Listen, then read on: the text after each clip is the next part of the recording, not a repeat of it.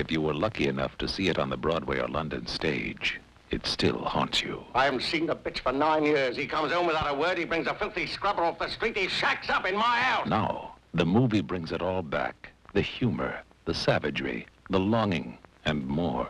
Harold Pinter's The Homecoming. You resent making my breakfast. That's what it is, isn't it? That's why you bang round the kitchen like that, scraping the frying pan, scraping all the leavings into the bin, scraping all the plates, scraping all the tea out of the teapot. I gave birth to three grown men all on my own bat. What have you done?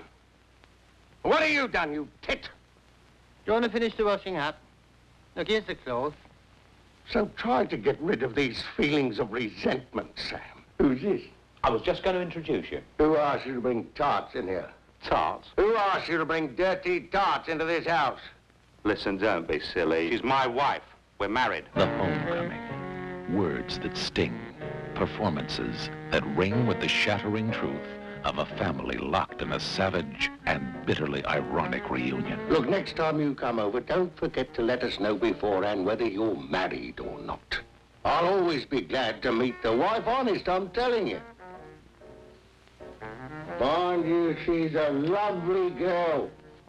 A beautiful woman. Ruth, the family have invited you to stay for a little while longer. How very nice of them. Listen, it would be our pleasure. She's got to have some money in her pocket. That's what I'm saying. You can't expect a woman to walk about without a few bob to spend on a pair of stockings. There's no need for us to go to all this expense. You mean she can earn the money herself? Yes. Wonderful.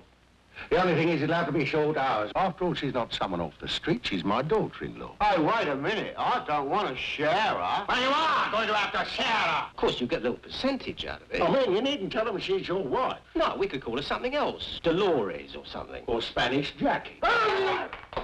Harold Pinter's The Homecoming. it's not about the family next door, or is it? He still loves his father. Time magazine calls The Homecoming a fine, ferocious film. The New York Times says The Homecoming has been turned into a movie of astonishing dynamism by Peter Hall with six extraordinary British actors. Its spell is never broken.